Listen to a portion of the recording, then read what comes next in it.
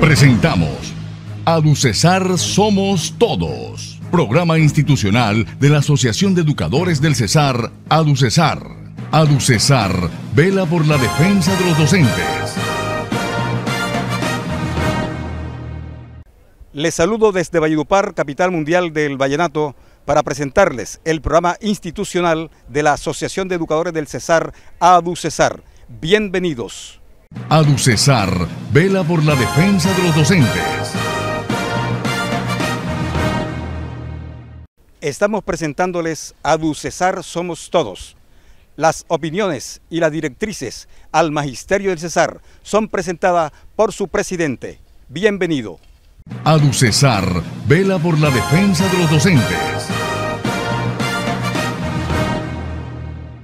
Magisterio del Departamento del Cesar y del municipio de Valledupar reciban un cordial saludo de nuestra Asociación de Educadores del Cesar, ADUCESAR, y su presidente Jorge Luis Rivero Larios. Bienvenidos al programa ADUCESAR Somos Todos. Pues bien, en la semana que termina tenemos que decir que el pasado 26 de mayo se desarrollaron las elecciones de FECODE y de nuestra Central Unitaria de Trabajadores Q, las cuales se realizaron en todo el país. En nuestro departamento del Cesar se desarrollaron con una masiva participación del Magisterio del Cesar y del municipio de Valledupar.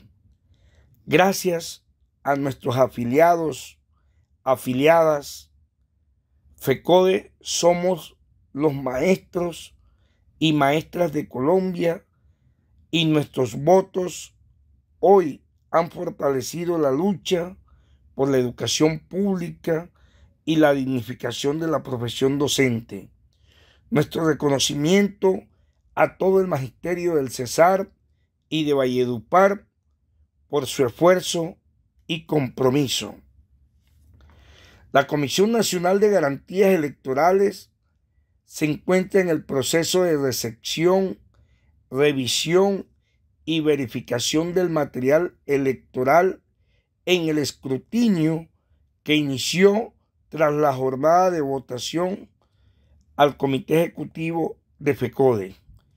Los resultados oficiales se conocerán la próxima semana y se transmitirán por los canales institucionales de FECODE y de sus sindicatos filiales. Por otro lado, decirles que se inició el proceso de la nueva contratación en salud y seguridad y salud en el trabajo para el magisterio colombiano. Ya hay unos pliegos publicados por parte de la fiduprevisora pliegos que de cumplirse lo que están contenidos en los mismos darán unos derechos y con mecanismos para exigir que la salud de los maestros y sus familiares mejore notablemente. Pero también la garantía de que la seguridad y salud en el trabajo será un derecho de todos los maestros de Colombia. Esperamos que en esta nueva licitación y quienes queden con la misma le presten un servicio digno al magisterio colombiano, magisterio del Cesar y de Valledupar. Estaremos atentos al desarrollo de esta información. Finalmente, decirles que la próxima semana continuarán las negociaciones entre FECODE y el Ministerio de Educación Nacional, en la cual FECODE le sigue exigiendo al gobierno nacional que se continúe con la nivelación salarial para el magisterio en los próximos años.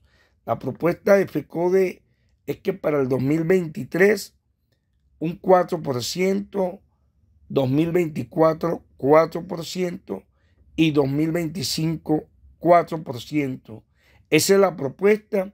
Obviamente, de ahí debe venir e iniciar la negociación para que al magisterio colombiano se le siga nivelando el salario.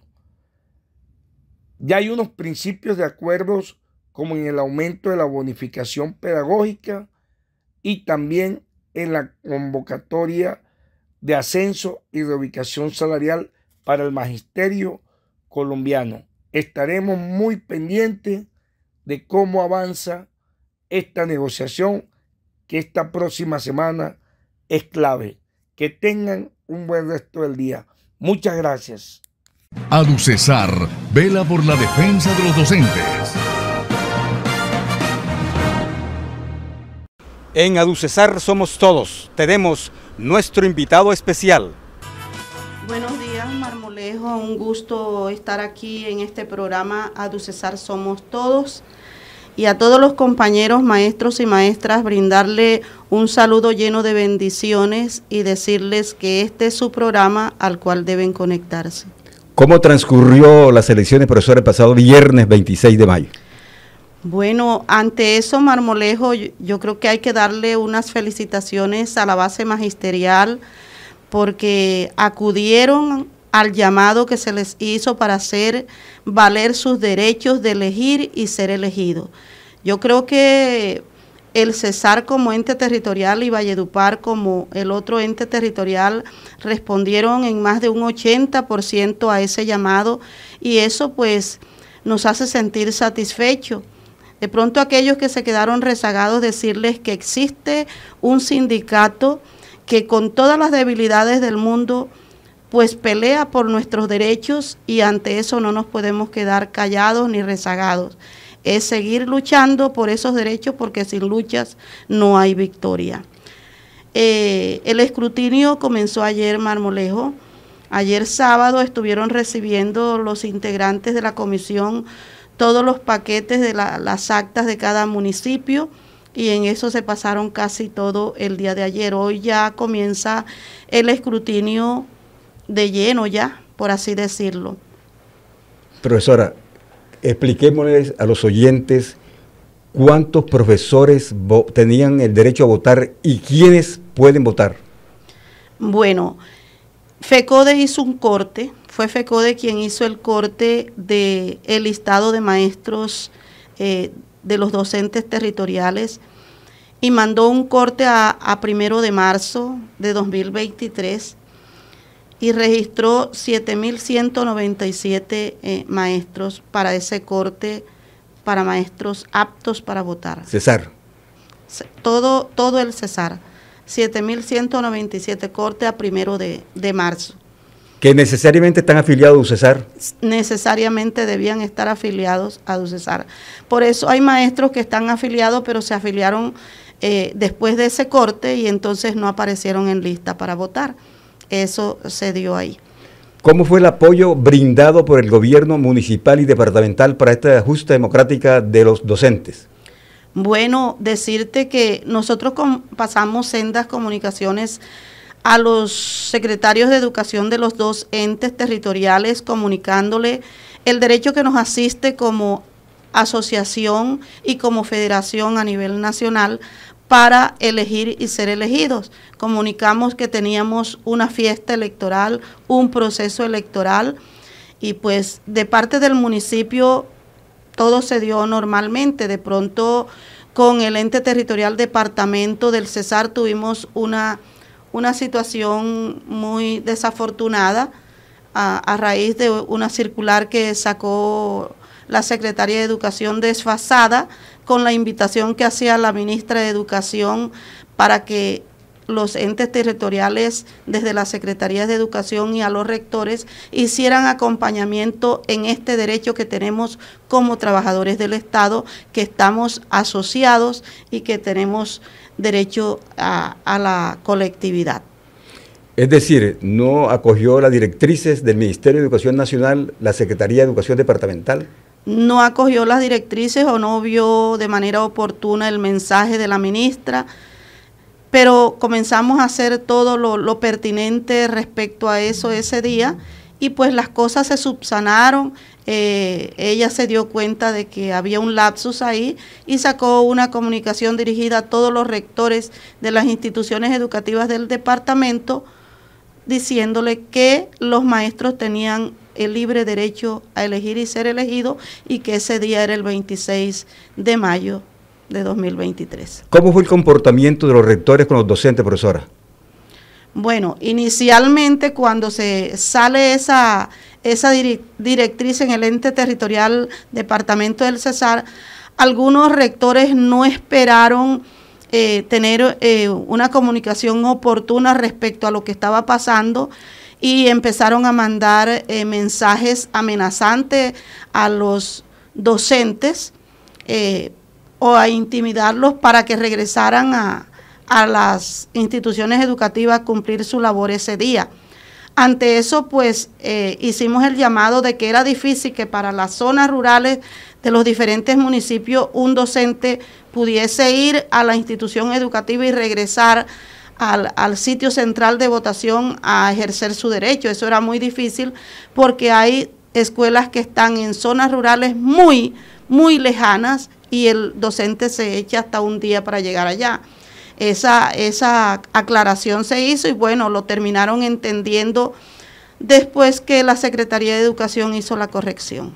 Profesora, ¿podemos darle a conocer cuáles son los derechos que asisten a, los docentes para asistir a esta justa democrática y a otras actividades además de ser elegidos?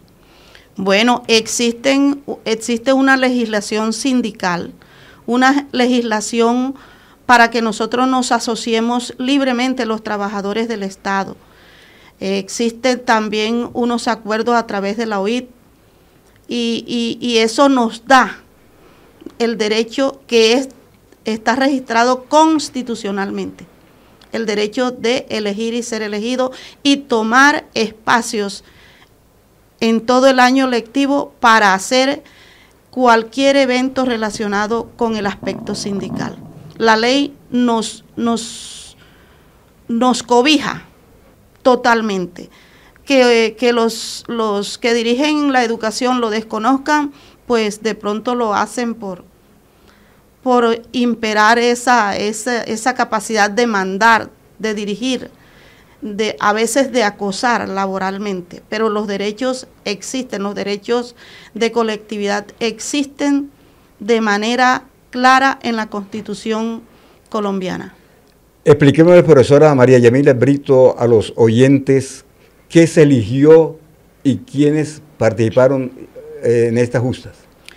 Bueno, Marmolejo, eh, en esta gesta electoral íbamos a elegir eh, comité ejecutivo de FECODE. ¿Que se posesionaría cuándo?